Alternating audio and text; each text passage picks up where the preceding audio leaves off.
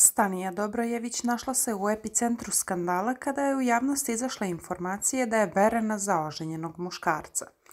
Naime, Aneli Ahmić, učesnica Elite, je na samom početku ulaska ovog realitija iznala kako je muž već mjesecima vara sa starletom i da ne mari za svoje trogodišnje dete.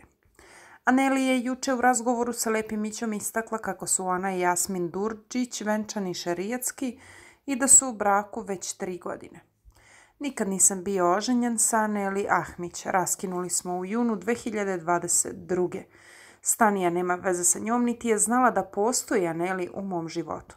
Bilo me je sramota da kažem. 50.000 evra nudim javno ako Aneli Ahmić sve na poligrafu ponovi šta je pričala. Uskoro šaljem dokaze istinu o ženi koja je došla da vara na televiziji. Pisalo je u ovoj objavi. Potom se na ovu poruku oglasio neko sa Nelinog profila. Ti osobo, monstrume, ne znam kako bih te nazvala. Kao prvo ti si oženjen sa Neli verski u ime Boga, a to je najvažnije i najsvetije.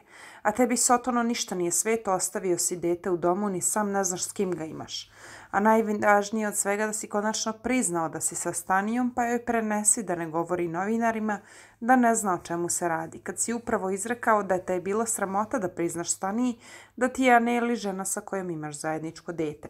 Da, Aneli ti je žena, a vaša je Nora.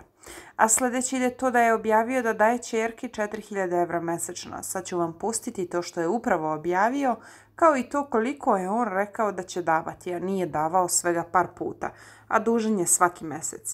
Stanija asistentkinja ga savjetuje, ali pogrešno. Sve dokaze imamo.